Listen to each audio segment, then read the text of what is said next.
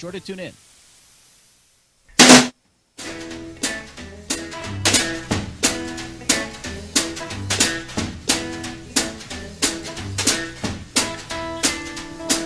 Okay. Still having fun with the audio. I gotta, the remote. I gotta get back into the swing of doing two things at the same time. It's been a while, so give me a break. Yeah, normally you just have to click on the mouse and watch me do all the work. Well, that's okay. I know, that's fine. I have no problem with that. No, we need. Oh, the poor little squirter. The squirrel has dubbed. Okay, let's not go any further with that Joe Biden impression. Okay. So, hey, Greg Moore's here. He is. He is. Speak- morning. Talk to the camera. Good morning. Hello, camera. How are you today? Oh, it just sits there. It's, it's happy to Watching see a you. squirrel. Maybe we should put a little wig on it or something. And Wouldn't that be fun? That would be fun. Like Yeah. uh, from Monsters Inc. Right. Was it Wazowski? yeah, Mike Yeah. Wazowski. Mike Wazowski. Yeah, so we are Grok Talk, a production of GraniteGrok.com, New Hampshire's leading Wazowski, conservative. You forgot to turn liber- in your paperwork again. So anyway, He's like of the the movie. campaign manager for David Boutin, Humana, humana, humana, humana here. former executive counselor Wazowski. What was his name? Warsworth or they named an exit after him. Resort. Wiz- Wieczorek. Wieczorek. And, and you Very can resort. dodge the toll by taking that exit. Is that That's perfect? perfect. Sorry. As I was saying, Grok Talk, Actually, production that's of. actually the, the exit I get off to go home. Well, there you go. I've lost control again. Squirrel, This is a presumption. squirrel. There's a presumption that you. He's been waiting for months to do that to us. First of all, there's some presumption that you had any control to begin with, and I think we need to address that. And that's just that's how it is. Anyway, Greg has joined us. We're talking about control. Okay, don't worry. I'll get you the other You've been cut 51 week- the other 51 weeks of the year. Watch out, Mister. I own that board, You do. sir. I know you do. I know you do. I can also Fine. reach that board, sir. I paid for this board, Mr. That's Green. right. I did, literally. So we're at Liberty Forum, yes. and uh, Greg has joined us. Greg Moore of you know? Americans for Prosperity, New Hampshire. Absolutely, I, I, and it's I found it interesting because uh, j- just yesterday, uh, w- one of the other groups who has a different viewpoint from us in terms of uh, New Hampshire uh, put out a press release. A group called Granite State Progress. I mean, I, you guys might might know. Zandra Rice Krispies. And and they came out attacking uh, came out attacking us, Liberty Forum, and, and of course because we're, we're we're working with uh, here at Liberty Forum, we have a booth. Um, and I'll tell you this much: from my perspective, I think it's a very interesting dynamic because Liberty Forum exists exclusively for the purposes of attempting to bring people into New Hampshire. Liberty Forum is here to get people to move to New Hampshire, and that's a very different thing from Granite State Progress, which is promoting policies that get people to move out of New Hampshire. So it's sort of like an interesting sort of uh, you know dichotomy between the dynamics there. Well, they don't necessarily want people to, to move out so much as they want to control the people who are here. Well, that has the effect of causing people to leave, go, I- go to Texas and North Carolina. Oh, Well, except for you, you came the other way. Well, I, I, I chose to come here um, for lots of reasons, um, but I still have my Texas passport. Okay, okay. Texas. Well, remember, it was Cynthia Chase, New Hampshire State Representative Cynthia Chase, Right. Democrat, transplant from Rhode Island. Rhode, Rhode Island, Island. who said that we must take freedom away so that the Free Staters won't come here. And you know, you think of that and you think of the ramifications. So she wants to penalize all New Hampshire residents now and use that to erect a wall around the state. Now that this progressive has come in, it's like, you know, Hannah locked the door. Well, that's too freaking bad. And I am so glad that the Free State is coming in. Now, I don't agree with them on, a, on quite a few issues that are important to me, but that's okay. That's okay. If you walk around here today, one of the things you learned is not any, not many people agree on, on everything on here here at the Liberty Forum. I mean, it's it's a very uh, very organic in that there are some baseline set of principles that a lot of these folks share. A lot of them are issues that have to do with free markets, which is why Americans for Prosperity Foundation is here sponsoring uh, sponsoring a table. But once you get outside of those basic free market principles, you're not going to get much agreement about um, on this group about, on a whole host of issues. And that's I think that's a good thing. The fact that they're able to constructively disagree on so many issues and do it in a way that that actually advances uh, the dialogue. and they will advance the dialogue. They want the dialogue. Absolutely. They love to have the discussion versus people like Zandra Rice Hawkins and a lot of other progressives who want to silence the opposition. And that's one of the reasons why I, you know, I've been here almost 30 years now. Oh, gosh, 30 years. But that's, you know, touching the gray hair here, which is off camera. Thank you very much. I need a haircut. I've been here 25. Yeah. But that's, you know, I fell in love after I moved here with the whole ethos of live free or die.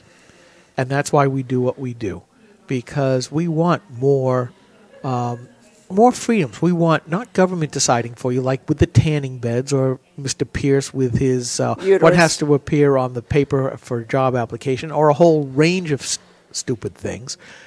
We make the decisions.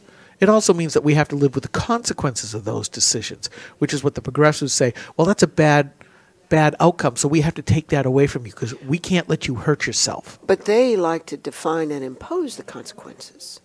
Oh, that's true. Okay, That's don't true. forget that they live for consequences. Yeah, they they wish to impose only a certain kind of morality upon us. But anyways, But I think it's also important, uh, particularly here when we're sitting in Liberty Forum, is is to, to consider that it's funny when I talk to a lot of the the, uh, the the folks, the attendees, a lot of them aren't from New Hampshire. Correct. And I, and I think this is remarkable. Is that I think that they said uh, more than half aren't from New Hampshire and are people who are considering coming to New Hampshire, and uh, and, and, it, and it, it's interesting because in our in our uh, ad we put in the brochure here at, uh, at at Liberty Forum, we actually used the, the full quote by John Stark, and, and a lot of the attendees mm-hmm. loved the full quote, which is mm-hmm. it's not just "live free or die," which we see on our license plates. It's "live free or die, for death is not the worst of all evils." Indeed. And I think that that's really, I think, really encapsulate the ethos of the Free State Project right there. Is the fact that you know what there are things worth fighting for, and it's not just it's not just a, a bu- bumper sticker, it's not just a license plate, it's it's a way of life, and they want to bring it and restore it here to New Hampshire. Why would we Why would we not want to have those folks here in New Hampshire embrace them and, and invite them to come here and work and fight to, to expand freedom? Because it, because it upsets the progressive apple cart, well, just I- like I we upset understand the, the establishment understand that, but- Republican one. But I mean, but I mean, they're, they're I, I, I'm, I'm reading this uh, ultra extreme, and it's like if, if you talk to these people, you're right. This extreme idea that people should have control over their own lives, it's crazy. Have you ever seen such delightful and happy children toddling around, though? Everybody's got these darling little curly-haired babes, and they're they're wandering around and they're talking to people, and it's it's a it's a just a lovely atmosphere. Most of these folks are young. yeah, and dogs too. And, Lots and, of- and, of in, in case you notice, every, every kid above the age of about 11 or 12 is selling something, pr- promoting capitalism Absolutely. right from an Want to buy a pin? Want to buy a shirt? Want to buy a cookie? Absolutely. Absolutely. They're out earning a living. I think it's great. Cookies? Cookies. Oh, I got to get Yeah. out of here. Yeah. we saw ice cream yesterday. These apparently the kids haven't found it- their way into the media room for you guys, or else, or else two things would be happen. You guys wouldn't be on the show because you'd be eating, and number two, they'd have a lot more money in their pocket. that they would. That they would. I got green squares of cloth. Rectangles. You'll trade for cookies. I'll Yes. trade for cookies. Yep. Value for value. Actually, more value for more value because that really is the essence of capitalism. Absolutely. If you have something to offer me, you're valuing my money more than I am, and I'm valuing what you have, be it something I can hold in my hands or some other service, more than what I've got in my pocket. That you is go. the essence of capitalism. And this is what they're trying to destroy that whole notion. So every time this topic comes up, and I know I'm getting recorded, I'm going to say, that's capitalism, folks. Yep. I'm not forced to buy something. Yes, That's- you are. Well, that's not capitalism. I understand that. You're that. forced. I mean, you're forced to buy a lot of government. That is true. Or a lot of things now that government is telling me I have to, it's good for you. Now we're back to David Pierce again. And you know, the funny thing is, I, I've known David for a number of years when he first um, got elected to the House. And he's, uh, he's a very nice man. He's uh, got two little girls. He's, he's, he's a good dad. Um, he's from Texas. Is that good or bad? Well, you know, those of us who who who grew up or, or, or were born in Texas of of parents who were serious about Texas, um, we always tended to, and I probably still do, and I'm sure it shows many many times. We were raised to feel sorry for people who weren't Texans. And, and, and trust me, this happened just yesterday with Susan telling me she felt sorry for me about having white chicken chili. White chicken chili. There is no such thing as white chicken chili. There's white chicken soup. There's white chicken fondue. Maybe there's white chicken And she said- sandwich Okay, I- spread. I have a She couple said- cans of that said- stuff at home I have to said me- try. she said, I'm not angry at you. I feel bad for you. I do. I- And I can't. I mean, he just doesn't know any better.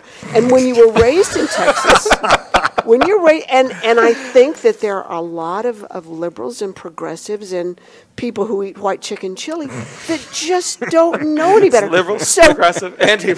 and, Susan? and, and I li- and I want to educate folks and I want to expose them to things that are real and that are proper. Like if you chili. haven't been exposed, I can't say that you're bad. If you know better, if you know better, which I, I kind of think you do, but I'm willing to give you the benefit of the doubt.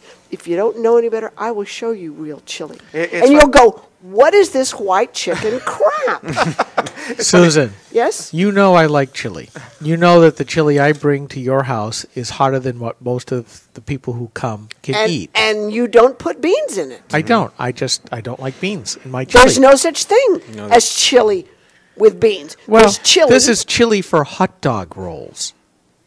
That's why I make my chili, and it's hot. And but I have a couple of those cans. I think that you're referring to of white chicken he chili. made it from.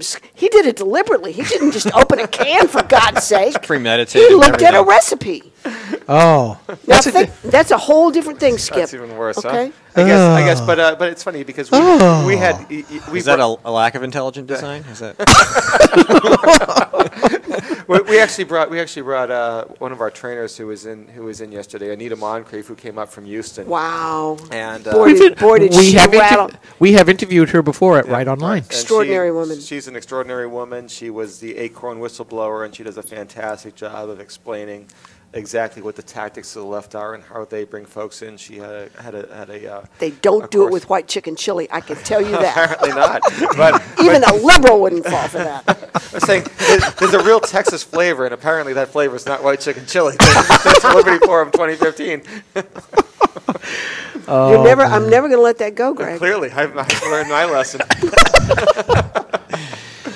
No. But no, I- I- I- Otherwise, that's your good kid. chicken Yeah, it's, chili. I think I think that uh, I think that that uh, that the, the just the, the uh, interaction and, and the amount of ideas that I have that I've heard, the new ideas and the new concepts, um, seeing how many legislators are here today. Uh, learning about what's going on ar- across the rest of the country, You- I, I sorry, sorry to take this in such a serious direction, but you know why? Why With people- us? why people would actually want to attack this. I mean, I would, I would tell the folks like at Granite State Progress, why don't you actually try coming to Liberty Forum before you start attacking Yeah. and actually see what you're talking about? because they can't be they will not put themselves into a place where they might actually have to change their worldview. They're, they are only happy. Uh, uh, here's the essence of the problem. We who are liberty minded believe that we should be in control of ourselves. Everything is internalized. Yes, we express it in our works and in our deeds, but our essence is internalized. Progressives, on the other hand, don't believe in internal governorship. They want to say, here's what you can do, and oftentimes present a libert hold on, hold on, a libertine type of personal behavior. But all governance has to be external. And the, the typical uh, uh, the best example of that was Al Gore when he was running for president, when he went to that Hindu temple and got gobs of money from monks that had taken a vow of poverty. He said there is no governing authority to prevent me from doing this. In other no words, controlling legal authority. thank you, thank you. I always get, I always say that say that wrong, but in essence, Mistakes were made. no. Passive voice. Passive voice. Mistakes were made. No, we, we go back to the no legal governing, uh, controlling authority.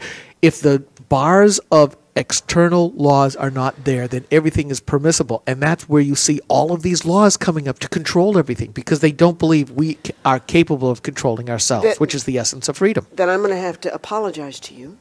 About the white chicken chili? If you want to make white chicken chili, okay, I am free to do so. you are. Free to choose. But it's not Now- chili. But but understand that you're doing it in opposition to the preponderance of evidence that says if you go back to Texas that somebody won't kick your ass. so make your chili. I'm not going to judge you. It's a good thing when I was in Dallas last Greg? August, no one, I didn't mention Yeah, this. tell them Greg, about this. you you're not going to have to go to Texas. It's the the ass kicking's right there. it's been two days of it. and perhaps it's, it's my fondness for tradition and things that um, make sense and, and, and time tested standards that make me oppose white chicken chili. But you should be free to make it. I I'm gonna- I got a blessing So- for Susan. I can now Steve- continue to make white chicken. Steve's chili. been taking lots of notes. I can't wait to see the write up of this segment. It's the white chicken chili segment. What are you talking about? Oh, and there is some mention of this thing called Liberty Farm. Indeed. Well, uh, you ought to be able to have white chicken chili at Liberty right. Farm. There it is. Exactly. I, maybe an idea for next year. There you go. Over So- Tex-Mex rice. And I mean, we ha- we, we've had Vermin Supreme here. We've had you know a, a number of, um, of uh, important dignitaries uh, here, and, uh, and and but, but but as I mentioned, uh, to, to, to me the re- the really exciting part aren't aren't some of the, the, the more well known folks. It's it really are people who've shown up for the first Liberty Forum, coming from places like Connecticut, Yeah. coming from places as far as California. I've, Yeah. I've heard people who've come from Young West woman, California. yeah. And I and I've spoken to people from all across this country who said who said, I don't know what what caused me to come here. Well, I don't know what the one thing was, but I just felt like I needed change. And when you start to get to an environment where people are in places where, even some places where aren't as bad as Connecticut or California, and you start to hear people coming from states that aren't that bad say, I want to come to New Hampshire because I think there's a chance to reclaim liberty here in New Hampshire. I got to tell you, it's an inspiring message. Yeah. Screw DC, save New Hampshire. That's my motto. Yeah. So, That's my motto. So yeah, I Well, mean, this but I- is- this but is- I mean, it's it's it's uh, it's interesting. I mean, which is not to say that th- there's a the reservoir of good I- ideas uh, exists exclusively exclusively in, Ha- in Hampshire. I mean, this this week, this past week, uh, two things happened in uh, that that sort of sort of in the Senate deadlock 12-12 on right to work, and, in in New Hampshire, but the state of Wisconsin just passed right to work. Yeah. And the Hou- through their house yesterday, and- and Governor Walker says he's going to sign it on Monday. So I mean, 12 12. I have to ask the question. You know who it was. S- Did Senator Stiles vote against right to work? no, Carson did. No, no, She did not. Uh, it's it's She it- did not? Carson She and supports- Seriously? Yes. Carson and Bradley was it? Uh, Carson and Boutin voted against Carson it. The two and Boutin. And Republicans who Bo- voted. oh. But they've, con- I mean, it, to be to be fair, they have consistently voted against right to work. They They have. have never voted for right to work. That's work. true. So that doesn't mean that I'm we not- still I'm can't go just after saying- them. I'm just, I, I suspect Senator Stiles has been given cover on Oh. 12-12. She didn't. She wasn't forced to vote against it. okay? and uh, for, for lots of reasons, Sen- and we all understand that Senator people get Stiles, votes for cover. Senator Stiles actually actually voted uh, has consistently voted for right to work for for a number of years. So I you know I Well, there mean, you Okay, go. then it I'm thinking of the wrong issue. That people are not people are not necessarily as granular as you might think. oh yeah, they are. So, but Yeah, but I think that but I think that it, it's just a, just a point is is is it is that here in Wisconsin, a state like Wisconsin, a state that's considered a blue state, just passed right to work, Mm-hmm. and it's going they're going to be the 25th state to become a right to work state, following a state like Michigan was al- which was 24. I know, Michigan. So if Michigan and Wisconsin could pass right to work, what are we waiting for? You know, for? I would be happy just to be able to say the state is no longer going to collect your dues out of your paycheck. Let the unions take it yourself. And Is I'd be happy with just that. Paycheck protection and right to work, the two of them together, obviously. Well, are- just like what we have seen in Wisconsin, that if the unions have to go and tell their members to fork it over, most of those members are going, I ain't forking it over anymore. And that comes back to what I said about the consumer marketplace. If you are not giving me good value for my money, the pure, again, going back to the most individual level of capitalism, if you are not providing good value for the money you want from me, I don't have to give you your money. Give me, give you my money. There. Well, the, the, to my mind, there there are two. There's a distinction that needs to be drawn between private sector unions and public sector unions. Okay, a private sector union, whether it's I don't know, IBEW, bunch of folks out on utility lines, um, you are not a, a company is not necessarily compelled to engage a union electrical group. Now, However, if you want to work for the state of New Hampshire, which is working for taxpayers and working for uh, the people whose pockets are picked for that tax money, The New Hampshire state government is a closed shop. You are required to sign a voluntary payroll deduction form that says either I will join the union. Wait a minute. Wait a minute. I will- Compelled to voluntarily. That's what? it says. That's what it's called. I'll post it up on. I've done it before. It's called fair share. you That's the either euphemism. join fair the share. union or you pay the fee. And, I see that cannot- Mr. Words Have Meanings is sitting in in the uh, Exactly. I'm going to turn this head Smirking. to Because he's right. i- i- in the batting circle. but understand that, that one of the things I think that you'll find here at Liberty Forum that's an interesting discussion is that private sector unions are contractually based. yes. I- And, and you enter into contra- contracts freely for the most part, right? But if you are a state government and I can't go to work for the Department of Fish and Game and become a fish cop without joining the union, then I am the new the state of New Hampshire's government is not pro-choice. yeah. So well, I'm at least give you know, to uh, At to least Ian. with um, the unions, the private sector unions, they have the ability to, you know, take away our hostess Twinkies when they when their demands become too much. But you know, that's a self-correcting thing because we now have Twinkies again. Well, Not that Congress- I'm allowed to have them anymore. Well, that is a, thankfully, we put the camera on the Twinkies, please. That's right. there's 50 pounds less of Twinkies. I know you. did and good. ice cream good. and br- Awesome. brownies. I've almost given up chocolate chip cookies. Although, where are those little kids with the cookies? I think I'm, I'm cutting going back to, on the uh, the one or two actual uh, sugar sweetened uh, Mountain Dews a week will help a little too. uh, it, it well, it's also saying willpower. Well, well yeah. You know, my voluntary was it voluntary? It's not no, your stomach told you. Your stomach said, "Stop drinking that crap." yeah, the Mountain Dew. Yeah, yeah. But We're back to the water again. Your body is, which is How- just how do you- Mountain how do Dew you- without how do all you- the how do you stay in it. awake? Huh? How do you stay awake? Willpower. Okay. Willpower, and I get mad at some of our politicians. That's all I need.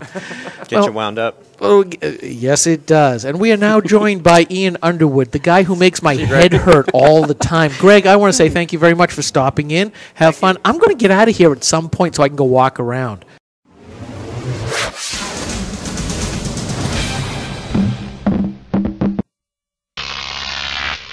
Crop TV.